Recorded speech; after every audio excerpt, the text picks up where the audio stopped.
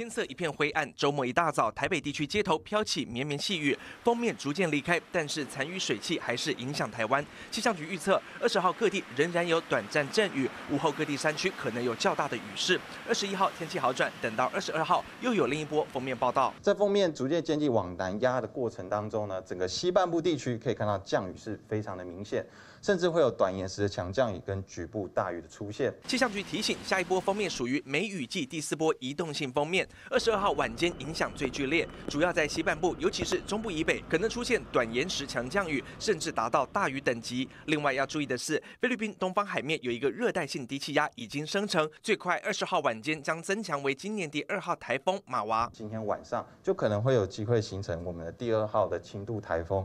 嗯，那在路径位置来看，目前是大概朝西北方向移动，然后到二十五号大概还是在这个位置，距离也还是非常遥远。虽然这波梅雨剧烈，但是对水情帮助有限。气象局长郑明典脸书 po 文，降在海面上的雨比较多，北部外海累积雨量最显著。由于烟囱云雨带滞留不算短的时间，累积雨量很可观。根据水利署统计，水库入流量大约一千七百九十五万吨，不如四月春雨四千多万吨。日月潭水库四百三十万吨最多，其次是苗栗鲤鱼潭三百九十万吨，南部只入流五十万吨。水利署副署长王一峰认为，现在讲旱象解除还太早，水情灯号能否首先降级，必须看这波水情和未来降雨展望决定。